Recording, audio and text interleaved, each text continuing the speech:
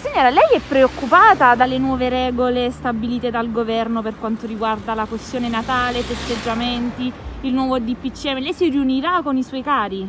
Eh, veramente con mio figlio e basta, che mia figlia sta fuori e non può scendere. Non scenderà quindi? No, non può. Triste, triste per tutte queste persone che non lavorano, che non guadagnano. Io penso a queste persone che tengono le famiglie, i bambini a casa e se non incassano i bambini non mangiano. Questa è la mia tristezza. Eh, sono misure a livello nazionale, è chiaro che vanno rispettate. Il problema economico-finanziario c'è e l'ha comportato questa pandemia, per cui le ripercussioni ci sono, ci saranno.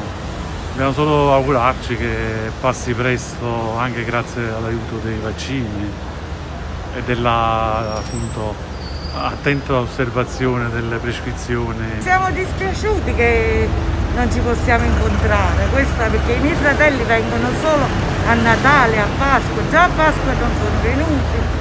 E insomma. Ritenete questa cosa però una cosa giusta? Da un lato sì, perché comunque è meglio evitare rischi.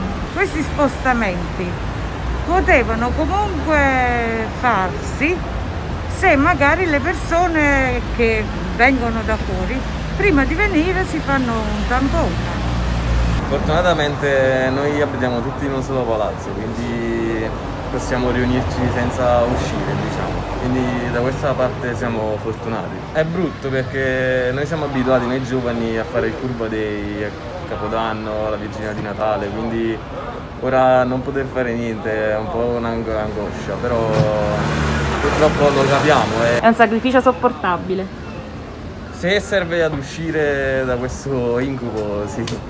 Una situazione particolare per tutti, complicata, però veramente non si capisce nulla di questo nuovo DPCM perché noi appunto dei bar siamo molto ma molto penalizzati e abbiamo, avremo una perdenza esagerata rispetto all'anno scorso. Per quanto riguarda noi lavorativamente parlando la situazione è grave.